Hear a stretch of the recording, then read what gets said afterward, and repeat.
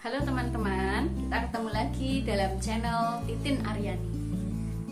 Pada kesempatan ini, saya akan menjelaskan tentang berapakah pH air minum yang baik untuk tubuh kita. Nah, di masyarakat, air minum ini lebih dikenal menjadi dua jenis ya. Yang pertama, air mineral biasa, kemudian yang kedua adalah air alkali. Air mineral biasa itu biasanya adalah air mineral yang memiliki pH di sekitar 7 atau antara 6,5 sampai dengan 7,5. Sedangkan air alkali ini memiliki pH di antara 8 sampai 9 ya. Maka manakah yang lebih baik? Apakah air mineral biasa atau air alkali tadi? Di masyarakat banyak sekali info-info yang beredar bahwa air alkali ini dianggap lebih bagus dibandingkan air mineral biasa. Apakah informasi ini benar? Benarkah alkali ini lebih baik? Mari kita simak penjelasan berikut ini. Yang pertama saya akan membahas tentang manfaat dari air alkali ini.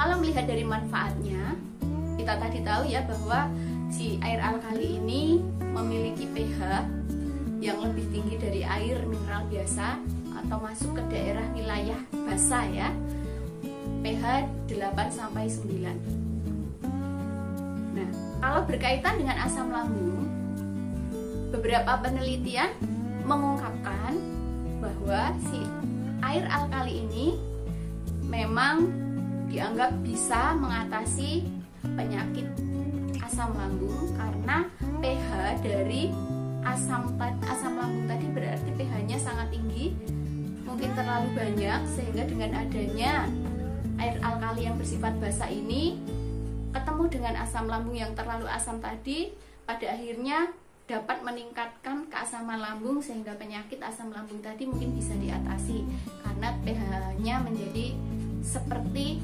seharusnya seperti pH asam lambung yang seharusnya. Lalu bagaimana dengan diabetes? Misalnya ya tadi ada yang berpendapat juga bahwa si air alkali ini bisa mengatasi diabetes, kemudian kolesterol.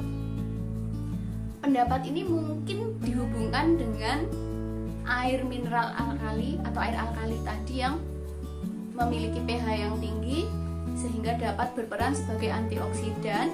Nah, mungkin antioksidan tadi yang memicu uh, memicu agar penyakit diabetes dan kolesterol ini dapat diatasi atau dapat mengatasi penyakit ini. Jadi, peran dari antioksidan yang menangkal radikal bebas penyebab penyakit diabetes dan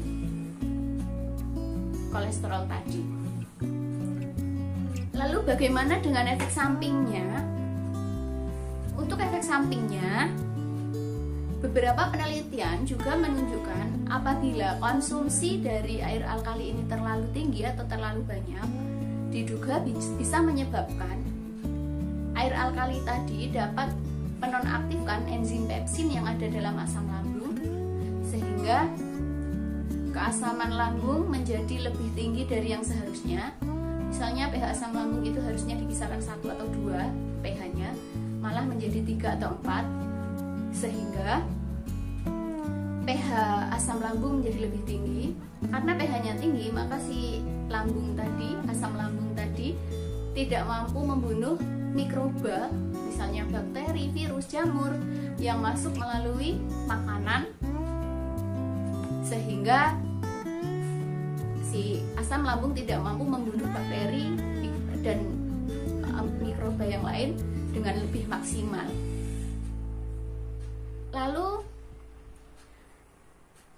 berhubungan dengan pH yang tinggi tadi, diduga kalau terlalu banyak pH pH basa yang masuk ke dalam tubuh bisa saja mempengaruhi keseimbangan cairan tubuh di mana cairan tubuh ini juga seharusnya memiliki pH yang netral atau pH pH 7 ya kisar sekitar 7 kalau terlalu banyak basa yang masuk ke tubuh maka bisa jadi cairan tubuh menjadi lebih basah atau terjadi alkalosis ya.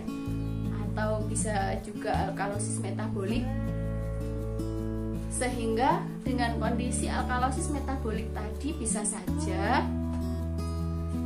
kandungan kalsium dalam tubuh akan terpengaruh kalsium yang terpengaruh ini juga dapat mempengaruhi dari mempengaruhi dari kesehatan tulang kita. Maka dari itu jadi ada ada plus dan minus ya antara kita minum alkali air alkali atau air mineral biasa. Untuk plus minusnya ini saya kira tergantung dari kitanya sendiri karena itu juga baru berdasarkan penelitian penelitian ini juga percaya atau tidaknya apakah penelitian tadi bisa dipercaya atau tidaknya kita kembalikan lagi ke keputusan kita masing-masing.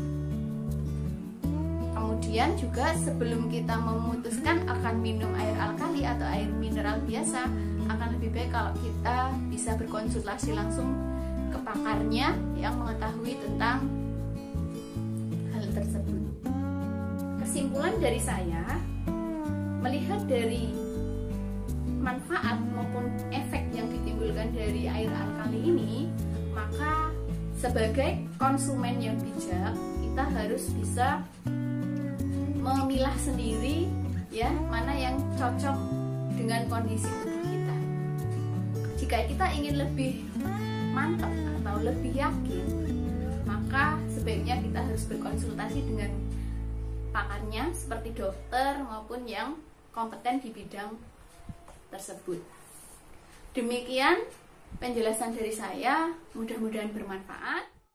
Silahkan like, subscribe, dan komen apabila Anda menyukai video yang saya bagikan ini.